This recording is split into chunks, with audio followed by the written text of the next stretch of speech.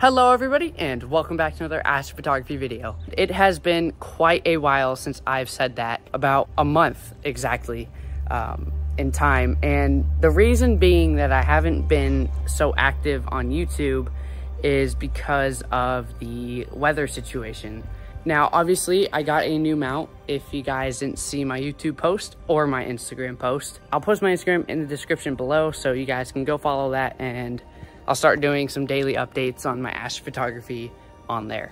Back to what I was saying, it's been very cloudy and very rainy for the past uh, month, and now it is finally five days of clear skies and then clouds and rain again. When I first bought this mount, uh, obviously I believe that it was the first night that I actually bought it, um, that I actually got my quote unquote first light using the um, mount and basically what a first light is on a astrophotography mount is it's basically your first photo using that mount. Now I got the Bowden Cigar Galaxy, which I'll put on screen right here, but I genuinely don't like it. I didn't get a lot of exposure time because I lost tracking in the middle of the night um, for whatever reason.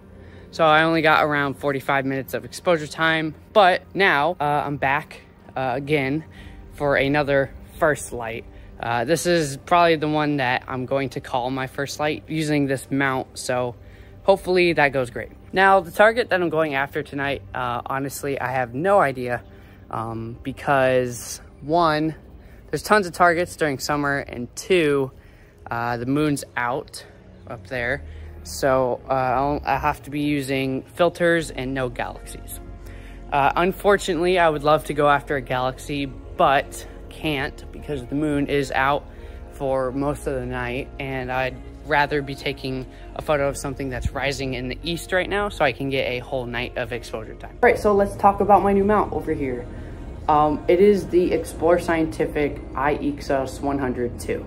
Now, this mount has a um, motor system called the PMC-8, which um, I believe Explore Scientific uses a lot of. Lots of their mounts have the PMC-8 system in it, um, so far, I've had no problems tracking and stuff like that. It was cloudy yesterday and the day before that, so I decided to, instead of using their, their own Explore Stars app on the App Store or Android, um, I decided to finally figure out how to control my mount using my Raspberry Pi. And for that, I used KStars and Ekos. Now, Ekos is a application inside of KStars that basically runs your camera drivers, your uh, mount drivers, your autofocus drivers, focus wheels, like anything like that. Now, of course, you don't have to have Astroberry to install.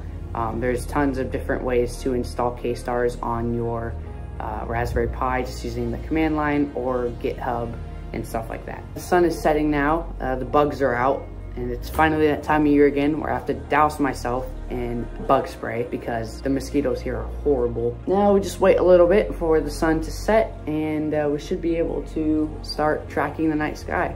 All right, so I have decided on a target and that target is IC 5070, also known as the Pelican Nebula.